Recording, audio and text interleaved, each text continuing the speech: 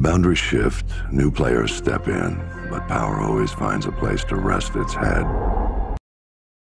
This is the Online Bartender. I'll be your bartender tonight. My name is Dano. Uh, basically, today we're making the Dan-o-Mite. So what you're going to need, you're going to need uh, vodka, you're going to need gin, a martini shaker and or something to shake it in, some lemon or lemon juice, and some Kool-Aid. The Kool-Aid here has to be particular. Uh, it's this brand right here.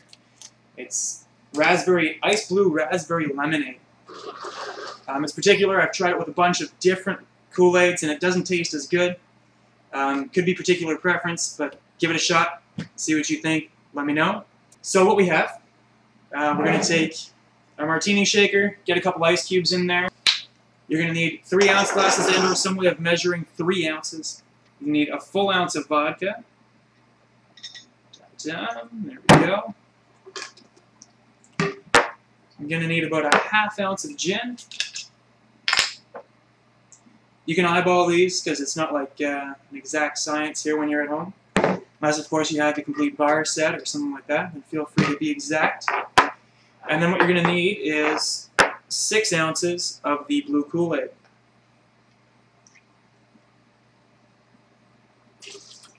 Six. Here's where the lemon goes in.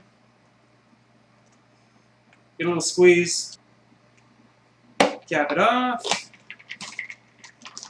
Shake away. You can do two of these at a time should your martini shaker and or shaking device allow it. This is a, uh, a single serving, rather small. And then what you're going to need is a glass to put it in.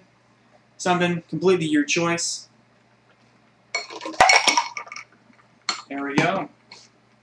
That's the dynamite. It's just that easy. Drink responsibly. Have fun. Thanks for watching The Online Bartender. I'm Dano.